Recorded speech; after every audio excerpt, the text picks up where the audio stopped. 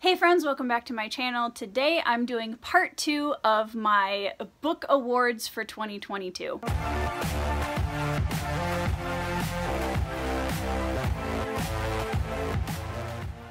Now, as I mentioned in the Character Awards video that I posted before this one, um, I have a really hard time ranking books. So I really struggled with the idea of ranking 1 through 10 of the books that I read this year. So I decided that instead of doing that, I'm actually going to do a book awards. I know there's a bunch of booktubers that have been doing this same idea, and I absolutely love it. I think it's brilliant for those of us who struggle to rank things. I had some really, really good reads this year, so it was difficult to decide what categories I wanted to do, but ultimately it came down to books that really stood out to me in different respects throughout the year. And again, I will remind everyone this is my subjective opinion, um, so this is just books that really resonated with me personally as I was reading them throughout the year. Let me know down in the comments as we're going what book from your reading list of 2022 would fit into these categories. If you want to play along, I would love to know what your top uh, awards for 2022 would look like as well. Now before we get into it, I'm going to give you guys a little bit of some stat information about what I, how much I read and all of that kind of stuff in 2022. I ended up reading 66 books in 2022, which is a personal best for me on Goodreads. Uh, the closest I had gotten to that before was 64 books in the year 2020. And then I read like 22 books in 2021 because I took a major hiatus from reading. Um, but I read 66 books this year and that was, was great. I don't really pay attention attention to the numbers as much because I just want to read quantity, quality over quantity. Um, but 66 books total felt pretty good. 23,443 pages which is a ridiculous amount of pages. I can't even make that make sense in my head. My average book length that I read this year was 355 pages, which I was pretty happy with because I did read a bunch of smaller books in between my larger fantasy and, and fiction novels this year. My average rating for the books that I read in 2022 was 3.9, which is two points higher, I think, than it was in 2020. Um, I tend to be not stingy with five star ratings, but to get a five star ratings, books really have to like really resonate with me deep in my soul to get five star ratings. Um, I do tend to give out five star ratings for memoirs and things like that because I have a I feel, feel really weird like giving someone like a three star rating for their life experiences. I just think that's kind of weird. So anyways, um, I think out of the 66 books, I want to say I gave seven or eight five star ratings, I believe, this year. Um, and so that's why I always tell people my three and four star ratings are also still really good ratings, and especially the four stars. Um, but yeah, I don't know, my rating system may change in the future, but currently that's just where we're at. So, the first award that I'm going to be giving for the books that I read in 2022 is the book that had the best atmosphere. This is a book that just the the immersion and the the atmosphere had a really really powerful quality to it that I really enjoyed. And the book that actually surprised me as being one that has stuck with me since earlier on in the year that I'm going to give this award to is A Green and Ancient Light by Frederick S. Durbin. This book is kind of a love child between Narnia and Pan's La the movie Pan's Labyrinth by Guillermo del Toro. Um, it's a lighter kind of Pan's Labyrinth almost. It still has some, you know, slightly darker moments in it, but overall it's just whimsical and beautiful. This book takes place during one of the world wars. I can't remember which one. It's been a long time since I read the book. But a young boy goes to live with his grandma farther away from the front and they end up having to save and hide a fallen pilot from one of the enemy planes. Now, that by itself doesn't really give you a good idea of what this book is about because it is very whimsical. It is a fantasy, so there is a mythical creature involved in this story. But the beautiful part about this was the garden that existed that the boy would go up to, and it was full of all these incredible sculptures, and it turns into a little bit of a mystery with a puzzle to solve. And it's just like I can't stop thinking about this book. It's it's very atmospheric. It's it's very warm and wholesome and has that nostalgia feel but also like threaded with a little bit of mystery and and danger and it's just really really beautiful. The next book on my book awards for 2022 is the best non fantasy fiction book that I read this year. This one was a tough one and I had to choose between some pretty incredible books and honestly the three books that I was choosing from were all five stars, which was kind of great. The options for this category were Chinggis, Birth of an Empire by Conn Iggulden, which features the uh, early years of Temujin, who would eventually become Chinggis Khan. It's a historical fiction, highly recommend, it's amazing. The next one was Snowflower and the Secret Fan by Lisa See, another historical fiction that made me cry. It's a generational story of two young girls in China who go through foot binding together and kind of grow up together into their families, and it's a whole generation story incredible book. Lisa See is always amazing. And then the third one that was in this category was The Outsiders by S.E. Hinton. This book takes place with a motley crew of boys who uh, are greasers in like the 1950s, 60s, and it's just such an incredibly beautiful character driven classic. I love it so much. I've always loved the um, the movie and I finally decided to read the book this year. The winner for this category was easily The Outsiders by S.E. Hinton. This book was everything that I wanted it to be after loving the movie and I just love these characters so much. Johnny Cade is one of my favorite non-fantasy characters of all time. I absolutely love him and he stole my heart just as much in the book as he ever did in the movie.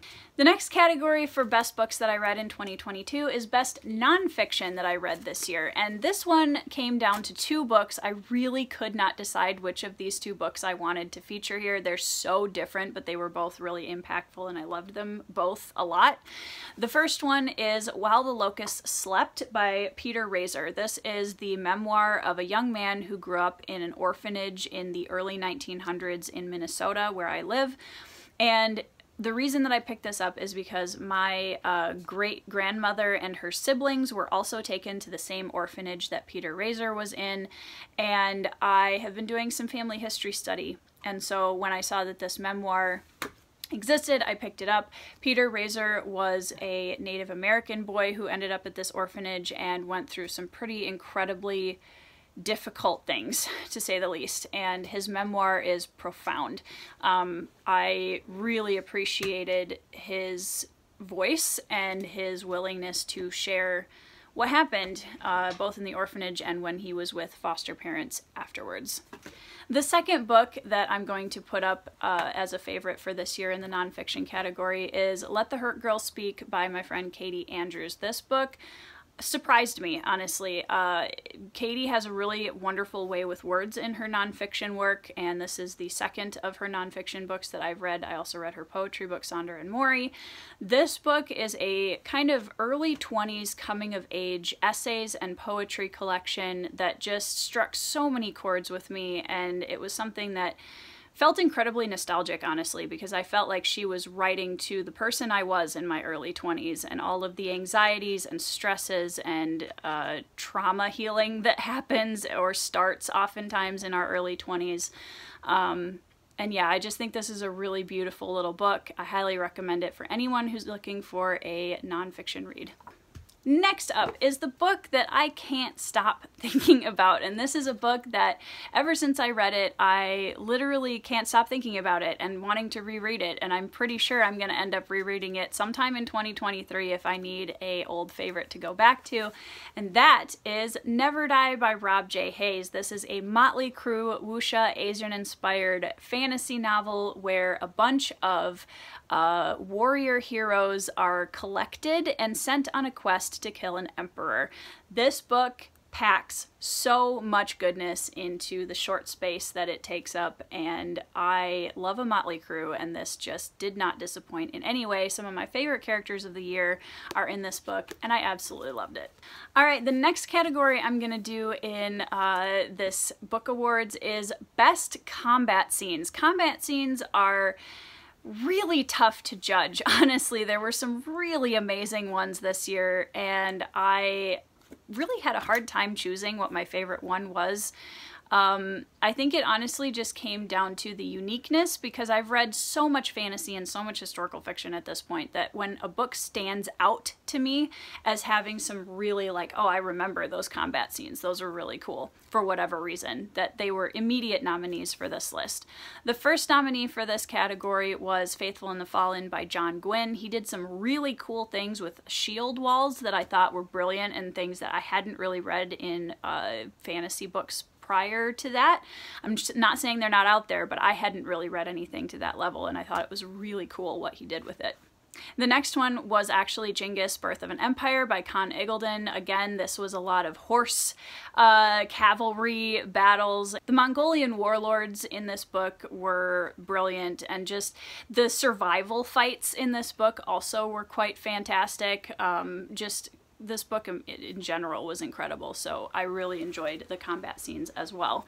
The third nominee for this category is Wistful Ascending by J.C.M. Berne, which a lot of people might be kind of surprised to see uh, in this category. But it's a superhero space opera where Rohan, our main protagonist, is running away from a life that he really wishes that he could kind of leave in the past, have something more peaceful to round out the rest of his days, but the past comes knocking. Rohan is a half uh, Ildrak hybrid, which means that he's basically a super soldier. For Best Combat this year, I'm going to give it to Wistful Ascending by J.C.M. Berne. This was just so unique. It was so much fun to read. Rohan I love a super soldier trope when it is done well, and I think uh, Joe Berne did a phenomenal job with it. I there was a scene about three quarters of the way through the book that left me breathless. And it's an action slash combat scene, but with a very, very heavy emotional impact behind it as well.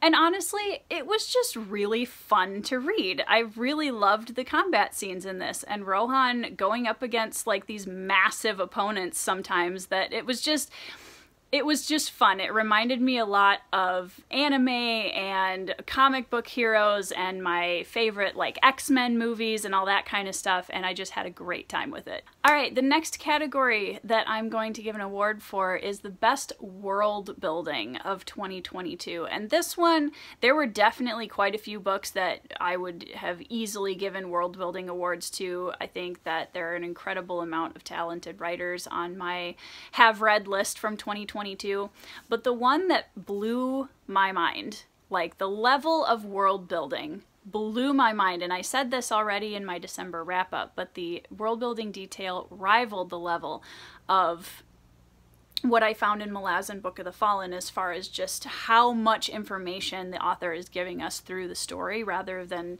like you're not getting info dumps but there's so much there um, and that was Deathless Beast by Andrew D. Meredith. This book follows uh, some pretty heavy themes of deeply held beliefs. It had uh, just a great assortment of characters in it, and if you love master storyteller vibe, slow burn, kind of almost like easily modern Tolkien esque level storytelling, this book is for you.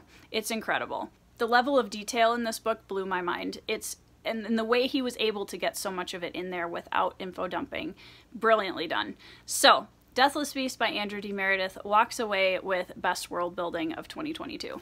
The next category I'm going to give an award to is the best middle grade or YA book that I read in 2022. I do try to read quite a bit of middle grade and uh, YA. They're both kind of good in between genres. I tend to lean honestly more toward middle grade than YA because typically YA focuses a lot on romance. So I do appreciate YA that isn't about toxic romances, but my favorite book in this category for this year was a easy walk away, and that was Eyes of the Emperor by Graham Salisbury. This book is about a young Japanese American man who joins the army too early. He lies about his age, and right after that happens and he begins training, the Japanese bomb Pearl Harbor. And this is a story that I recommend highly to adult readers as well. It is profound. He gets, uh, the main character gets wrapped up in a government experiment and it's just, man, this is an impactful book. I absolutely loved it. It was, without competition, my favorite middle grade slash YA read of the year. Going now to the award for the best Motley Crew. You guys know that Motley Crew is one of my favorite tropes to read ever. I love a Motley Crew with my whole heart. And this year's Motley Crew went to Never Die by Rob J. Hayes. Again, you've got a group of uh, war heroes that are collected to go and try to kill an emperor. Um, and they're also protecting a small boy who is their leader. And let me tell you what, this is such a great group of contrasting characters. I can't even. I loved it. I loved the interactions between all the characters. Each of the characters had their own life and vibrancy about them, and I appreciated that immensely. Next up, we have a book that made me cry. Now, this is a book that, again, I have loved the story for a really long time, and reading the book just drove that home even harder, and that is The Outsiders by S.E. Hinton. This is a motley crew, coming of age, just group of found family friends. I love this book so much. I really do. I loved it. So, that one made me cry. It's not the only book that made me cry. I will give an honorable mention to uh, Snowflower and the Secret Fan by Lisa See, which I bawled in. I bawled in it. But this one, the emotions were just flowing for the entire book. All right, guys, those are my awards for 2022. And now I'm going to give an award for my read of the year. I'm not going to say that this is the best book that I read this year because I honestly don't even know how to quantify that. I don't know how y'all do it if you do the videos like that. But I am going to just give it to a book that resonated with me that I want to go back to that I can't stop thinking about and had all of the things that I love to read in it. My two nominees for this category are Never Die by Rob J. Hayes and The Outsiders by S.E. Hinton. And honestly, I think I'm just going to give it to both of them because I really don't know how I would ever pick between them. And especially since I have one fantasy and one non fantasy, that just feels like the right decision. So, my reads of the year were The Outsiders by S.E. Hinton and Never Die by Rob J. Hayes, both of which are Motley Crew stories, so that probably says something about me and how much I love the Motley Crew trope. But both of these books cannot recommend highly enough. If you uh, want to know more about them, definitely go check out them on go check out them on Goodreads. That sounded really excellent. Um, so that is my kind of reads wrap up favorites awards category thing video for 2022. I hope you guys enjoyed it. Let me know again down in the comments what you would choose for these categories from your reads of 2022. What was your read of the year? What were your favorite this, that, or the other thing? Um, because I want to hear from you as well. So, Thank you guys for hanging out with me for this video. I hope you are all having five star reads. I hope you're having a great week and I will see you in the next video.